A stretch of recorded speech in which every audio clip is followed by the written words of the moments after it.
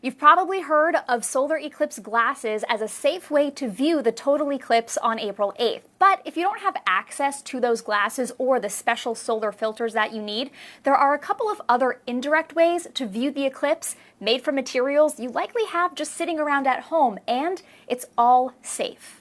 One way to make a pinhole projection is by using materials you probably already have laying around the house. And this is a safe way to view the total eclipse if you don't have access to those special solar eclipse glasses, or if you do have the glasses, but you just want another fun hands-on way to see what's happening in the sky. A couple of things that you might need. A box, a cereal box will work, a box to some of your other favorite snacks, a shoe box, any type of box would work for this. Some white paper. You're gonna want some scissors, some tape. You're gonna want some sort of pin, whether it's just a regular push pin or even a small nail, something that can poke a very fine hole. And you're also going to want a little bit of tinfoil. So what you're going to do is you're gonna take your box and you're gonna hold it lengthwise. And on one side of the box, cut out two holes on one side in the box, kind of like this.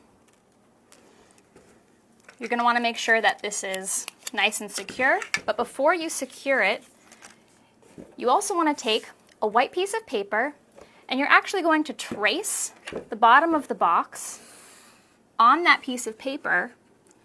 And this piece of paper is going to go inside the bottom of this box. And you want to do this because this white paper is basically going to act like a projection sheet. If you think of a projection screen where you have an actual projector, you put it onto a white screen or a white sheet, this piece of paper is going to act like that screen. So you're going to go ahead and cut it out.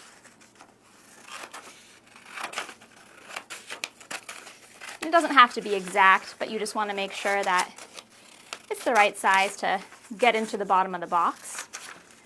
And you won't have to secure it either. You'll be able to just stick it in the bottom of the box and it should sit pretty easily in there. And this is so that, again, it acts as a projection screen and that way the sun's light will have a nice bright surface to project onto when you're using this pinhole projection box. Make sure it's nice and flat. You can see the paper there inside of that box. That's going to be your projection screen. Now that you have that in place, you can go ahead and tape up the top of the box just so that it's nice and pure and there's no holes for light to get through.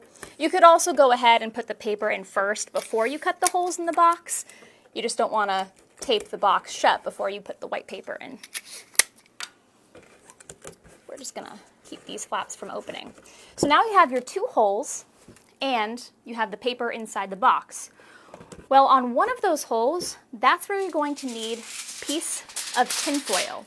And you're going to want to cut the tinfoil to size so that it'll fit over one of those holes on the box, nice and secure with no gaps in between.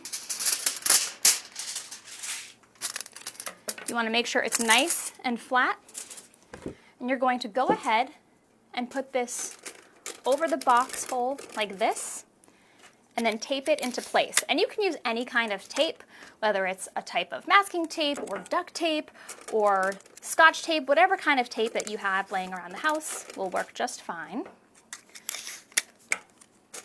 But again, the key is to make sure that it is nice and secure to the box without any gaps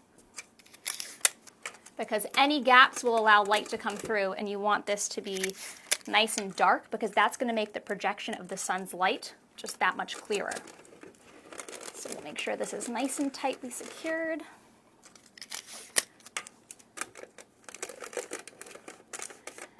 Then what you're going to need is your pin or your nail or whatever you're using to make that little fine pinhole.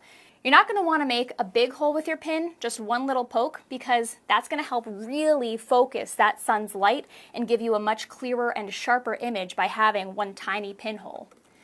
And so you just poke one little hole right in the center of where that tinfoil is over the other hole that you cut into the box. So now you should have something that looks like this. What you want to do is turn your back to the sun so that the sunlight is behind you. You're then going to hold the hole that we made in the box up to one of your eyes, and it doesn't matter which side, it can be the left side, it can be the right side, it can be vertical. You just want to hold it so that you can look through that hole clearly, and you want to angle the box so that the sunlight is coming through that hole that you made in the tinfoil and it's being projected through the box onto that white piece of paper in the back of the box, acting like that projection screen. You're going to see that really clear circular image of the sun's light. And as the moon starts to cover the sun and creates that shadow, you'll start to see the shape of that light and that circle of the sun changing as the eclipse goes on.